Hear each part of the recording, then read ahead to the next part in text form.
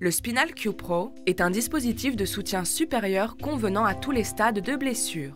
Ce produit soulage et soutient le corps, aussi bien dans des situations délicates que dans la vie de tous les jours, et il aide à réduire les douleurs dans la nuque, les épaules, le haut et le bas du dos.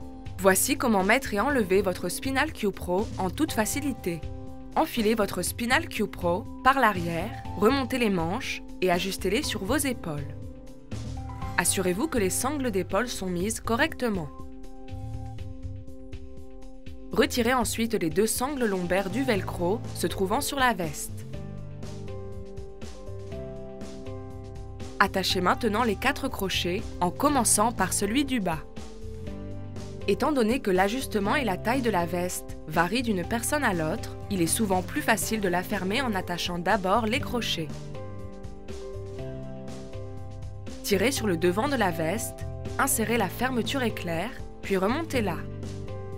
Vous devrez peut-être rassembler les deux côtés de la veste pour pouvoir remonter la fermeture éclair jusqu'au bout.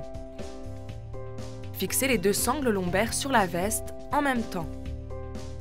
Tenez-vous bien droit, tirez les sangles d'épaule vers le bas et attachez-les au niveau de votre nombril. Ajustez bien toutes les neurobands pour que votre Spinal Q Pro soit confortable. Pour choisir la bonne taille de veste, l'élément principal à prendre en compte est votre poids. Votre taille est moins significative, mais il est néanmoins essentiel que vous puissiez être conseillé en cas de divergence notable entre les tailles recommandées. N'hésitez donc pas à nous contacter en cas de doute. Pour enlever le produit, commencez par détacher les sangles lombaires de chaque côté. Assurez-vous que le velcro est entièrement retiré de la veste. Saisissez ensuite les sangles d'épaule et détachez-les de la veste. Placez-les sur les petites bandes qui se trouvent au niveau de vos côtes. Cela permettra de maintenir les sangles en place.